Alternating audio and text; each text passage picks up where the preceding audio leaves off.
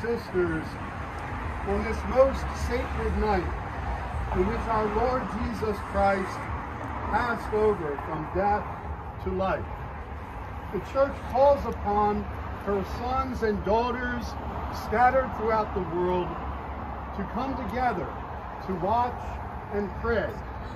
If we keep the memorial of the Lord's Paschal solemnity in this way, listening to his word and celebrating his mysteries, then we will have the sure hope of sharing his triumph over death and living with him in God.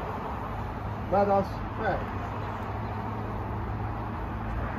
O God, who through your Son bestowed upon the faithful the fire of your glory, sanctify this new fire, we pray, and grant that by these paschal celebrations we may be so inflamed with heavenly desire that with minds made pure we may attain festivities of unending splendor through Christ our Lord. Amen.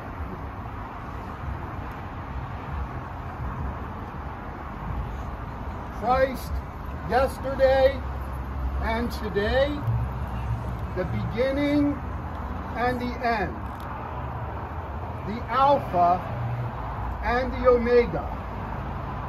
All time belongs to him and all the ages.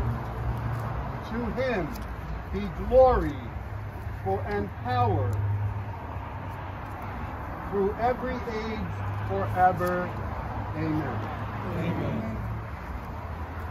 By his holy and glorious wounds, may Jesus Christ our Lord guard us and protect us.